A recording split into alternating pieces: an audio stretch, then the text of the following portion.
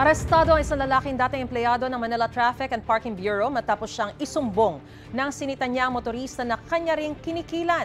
Paliwanag ng suspect na gawa niya ang krimen dahil sa hirap daw ng buhay. May unang balita si Nico Wahe.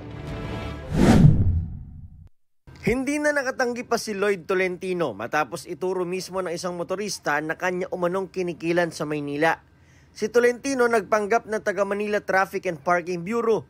Naging empleyado naman talaga siya ng MTPB pero hanggang noong July 2021 lang. Ayon sa Manila Police District, nangyari ang insidente sa Bucaneg Street malapit sa Cultural Center of the Philippines. Ipinara niya po yung ah, biktima natin na nagda-drive, nagpakilala siya ng MTPB, sinita niya na meron daw silang operation at sinabihan niya na nagswerving daw siya. Pumalag daw ang biktima dahil alam daw nitong wala siyang violation. Dito na raw siya hiningian ng dalawang daang piso ni Tolentino. Kung gusto mo, dito mo na dito mo na ayusin ang problema para makauwi ka na. At nagdemand siya ng 200 piso para sa hindi siya matikitan. Nagbayad daw ang biktima pero nakakita siya ng pulis sa di kalayuan kaya binalikan si Tolentino at doon na siya inaresto. Nakumpiska kay Tolentino ang lumang uniforme ng MTPB, ID, listahan ng multa per violation, mga lisensya ng mga motorista at ang 200 pisong kinotong niya. Aminado si Tolentino sa nagawa.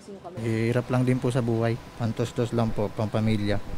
Hindi raw niya sinurrender ang mga lumang uniforme at ID niya bilang empleyado noon ng MTPB. Ayon sa MPD, mukhang diskarte ni Tolentino na magtago sa mga di pansining lugar. May sarili siyang diskarte. So, siyempre, titingnan niya yung mga hindi mataong, hindi mataong lugar tsaka wala doon yung mga dati niyang kasamahan. Doon sa may Bukanig, ah, kasi ano yan eh, boundary ng Pasay at ng Manila. Robbery extortion ang kaharaping reklamo ni Tolentino. Ito ang unang balita. Nico Wahe para sa GMA Integrated News.